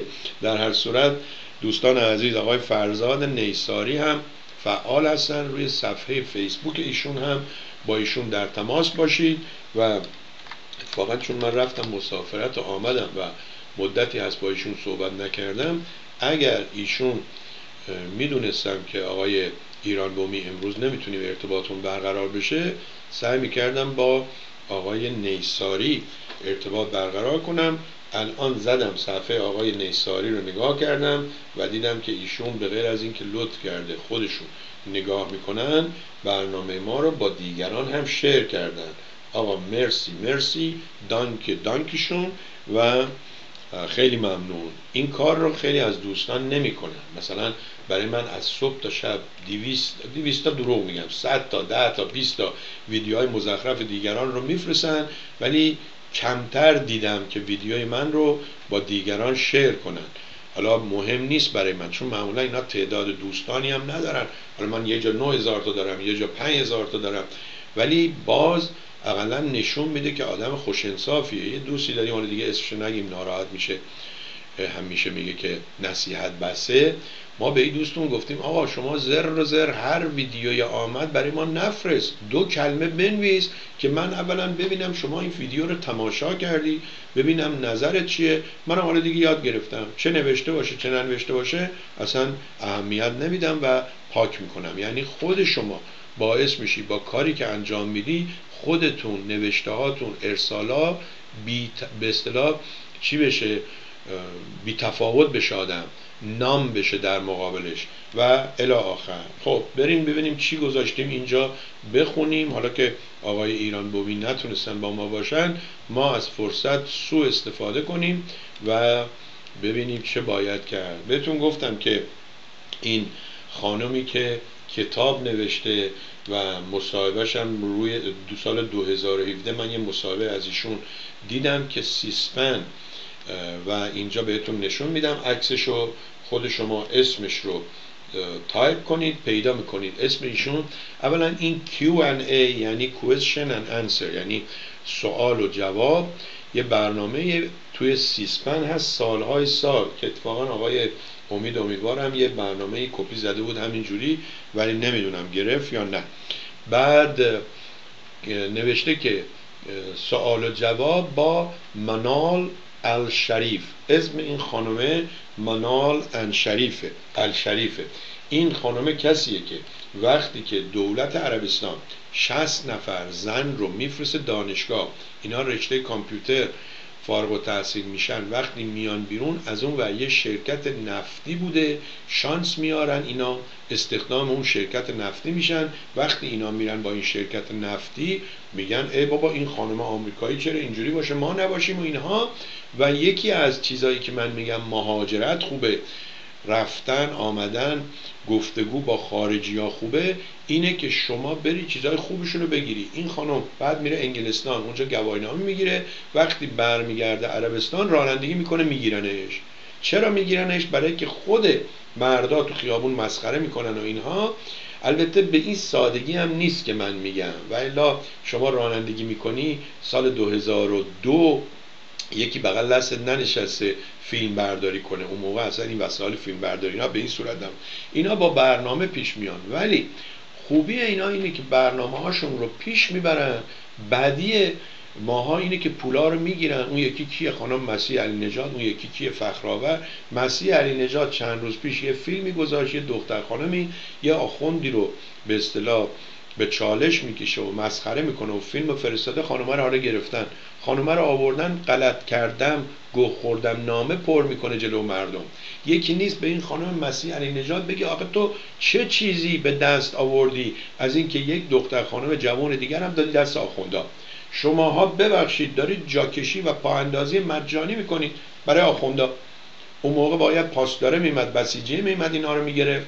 حالا شما خودتون با پای خودتون با دست خودتون عکسش هم می‌ذارین ویدیوش هم می‌ذارین محلش هم می‌ذارین. اون آخوندم شماره تلفن ماشین این خانم گرفته گرفتنش حالا آوردنش.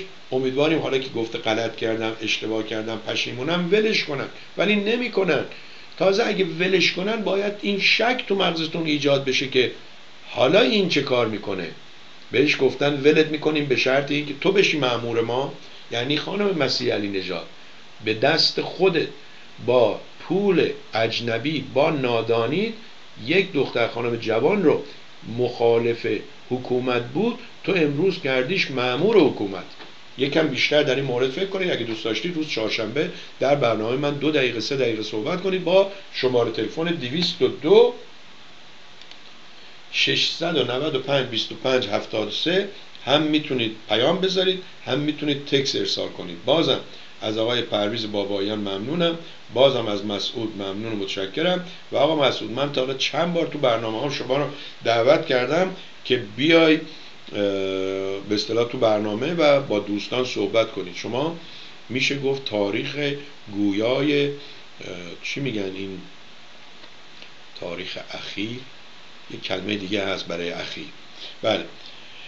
این روباه سبز دوباره دستمال یزدی دستش گرفته مثل اینکه می‌خواد دوباره سلکلش پیدا بشه.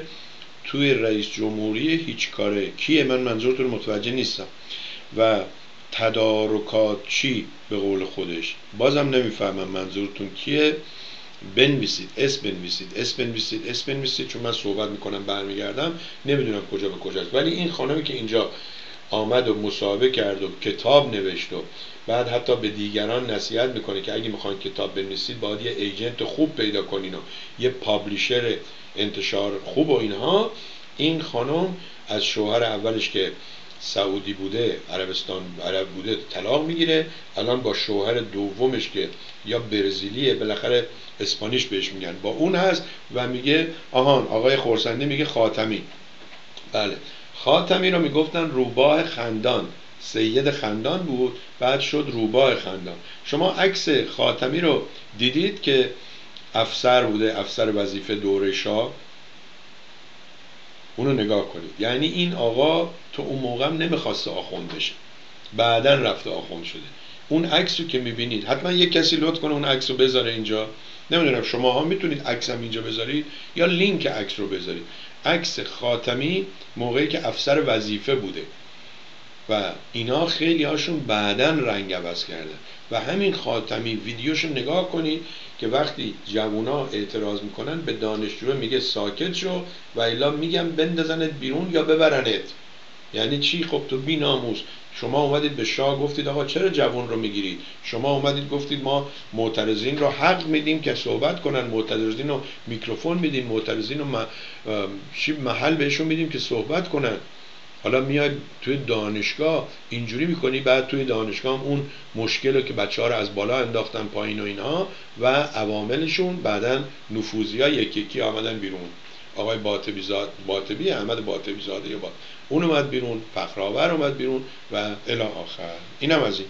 خب دوستان عزیز ساعت 3 و 27 دقیقه است. ما قرار گذاشتیم که دیگه 90 دقیقه بیشتر با شما نباشیم. می‌دونیم شما عین بازی فوتبال عادت کردید 90 دقیقه. حالا بعضی هم بعض وقتا هم اگه مساوی شدیم یه وقت اضافی می‌ذاریم. چقدر بود؟ 15 دقیقه. بعد تو اونم اگه مساوی شدیم یه 15 دقیقه دیگه می‌ذاریم. دیگه ماکسیموم دو ساعت. ولی امروز چون من تنها بازی کردم و من برنده هستم وقت شما رو کشتم همین 90 دقیقه کافیه. این ماجرای عجب محرمانه بود و دوباره گذاشتونم اینجا که یادم نره. و اما define US sanction define یعنی مقابله کردن روبرو شدن. با دیفاین فرق می‌کنه. خود من اولا می‌گفتم این چرا اسپلش اینجوری میشه.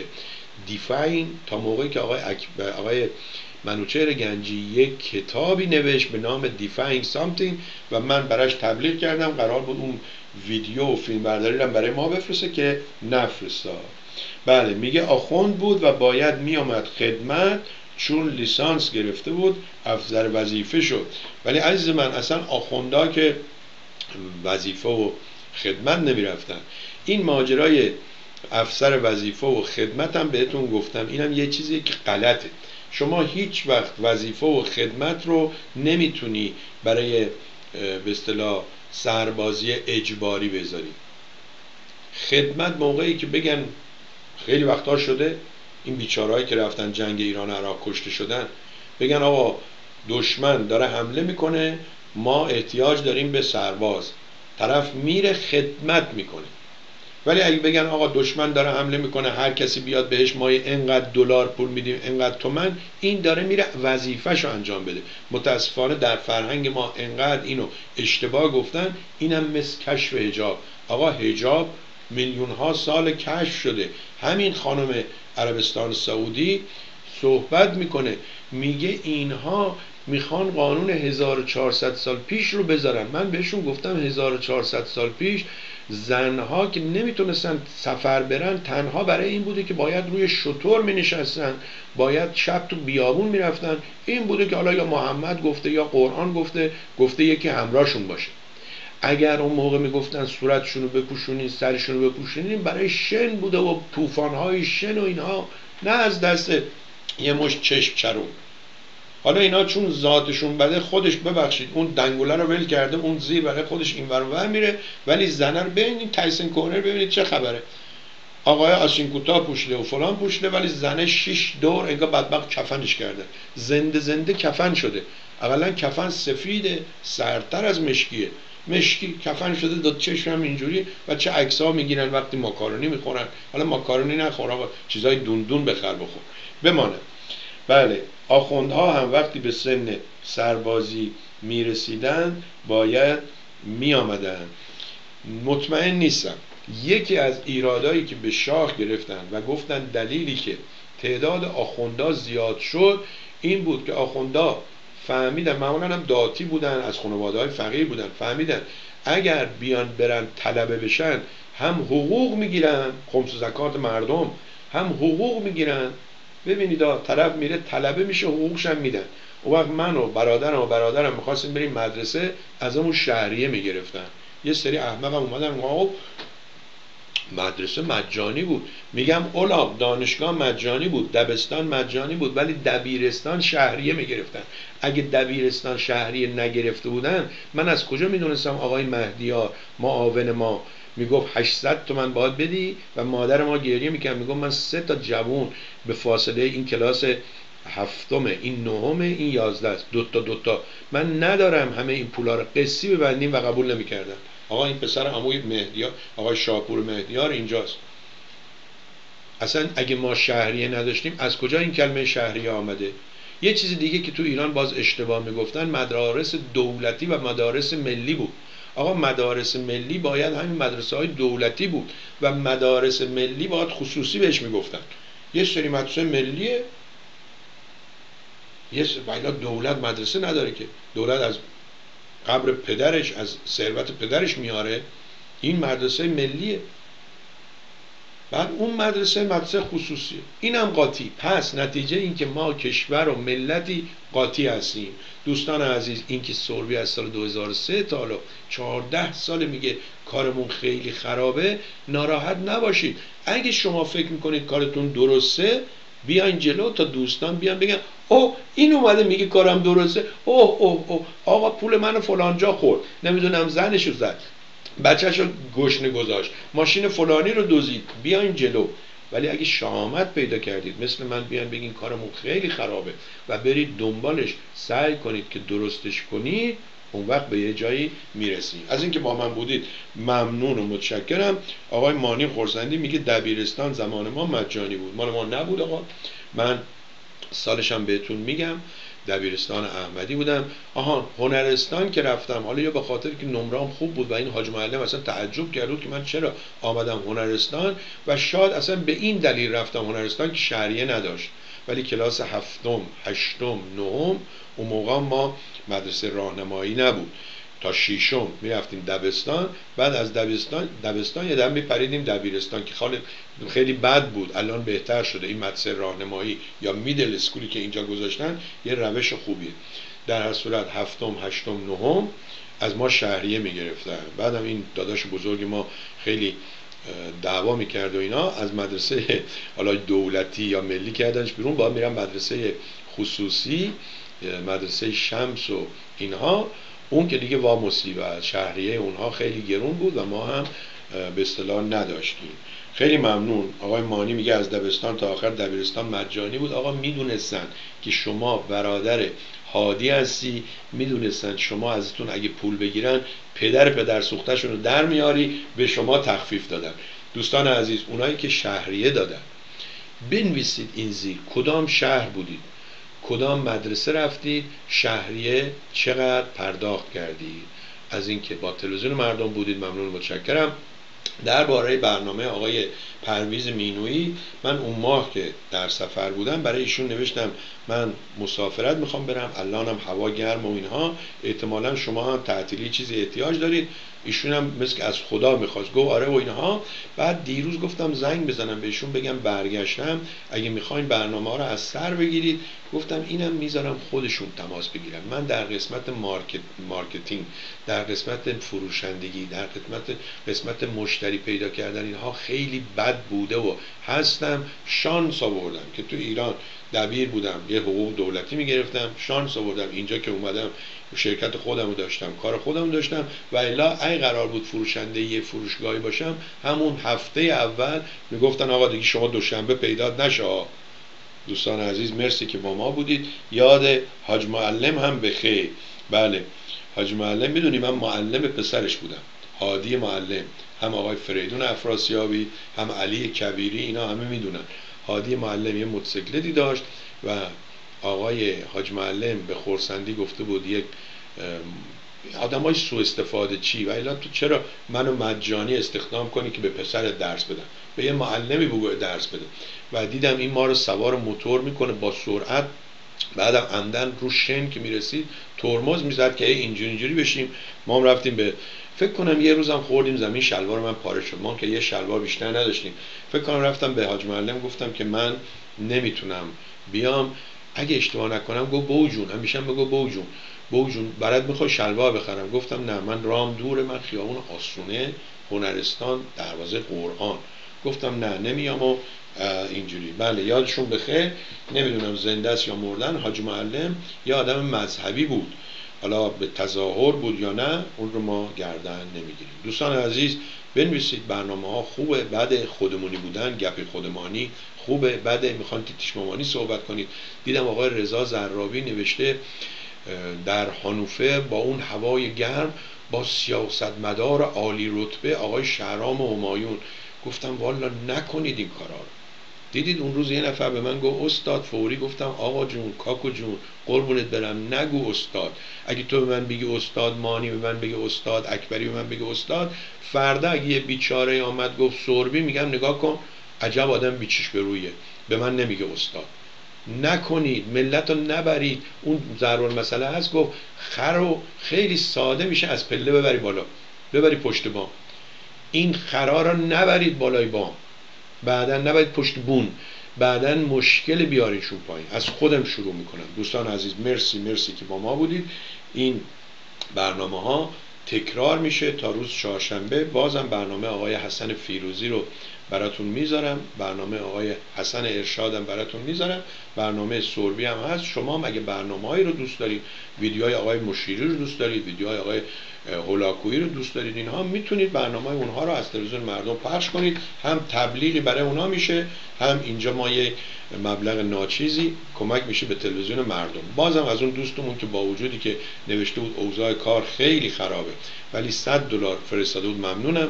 از دوست عزیزی که چند روز پیش 50 دلار فرستاده بود و هر ماه این کار می‌کنه ممنون متشکرم. از پتیک که مال ماهای آیندرم میفرسه دیگه نمی‌دونم چی بگم. آمریکایی میگه I don't know what to say. یعنی دیگه زبان میگن زبان آدم بند میاد که چی بگه. ممنون و متشکرم. این ببین مانی یک بلاییه. مگر من تو رو نبینم واشنگتن؟ مجبورت می‌کنم برام آبجو بخری نوشته چشم استاد. مثل اینایی بود میگه آقا نگو بادمجون. میگو باشه دیگه نمیگیم بادمجون. شما از بادمجون برات میاد ما دیگه نمیگیم بادمجون. مرسی مرسی مرسی. روزگار و روز روزگارتان سبز و خورم با خورسندی بگذرانید آقا این ویدیوهایی که تو تلویزیون های دیگه پولاتو گرفتن اگه اجازه پخشش ما رو خودته بفرست بیاد پخش می‌کنیم. پولم نمی‌خوان دوست داشتی حمایت کن حمایت کن. دوست نداشتی بفرست بیاد اقلا برنامه ها رو پر کن من دیدم یکی دو تا از اون برنامه ها رو کاغذ می‌گرفت دست تو را میافتادی شعر میخوندی و اینها. خیلی قشنگ خودمونی هم شما برنامه اجرا می‌کنی. و سخن چون که از دل برایت لاجرم بر دل نشینه دوستان عزیز ممنون متشکر. تلفن اسپرینت یه بار دیگه بهتون یاد نشون میدم. هر جا هستید ضرر که نداره. یه زنگی بزنید. این تلفن Sprint 25 دلاری رو ازش غافل نشید. 25 دلار در ماه unlimited یعنی هر چی دلت می‌خواد حرف بزن حتی به عمه‌هاتم که مردن زنگ بزن حالا شاید یکی گوشی رو برداشت بالاخره. و هر چی دلت می‌خواد جی پی اس یا همون چیز نگاه کن. نقشه و اینها که بهش میگن talk یعنی حرف زدن. text یعنی همون پیامک فرستادن. و data.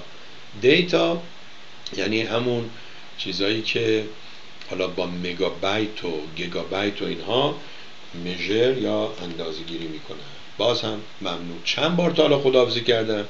نه بار شده. خب اینم دهمین. خدا حافظ یکی یکی خاموش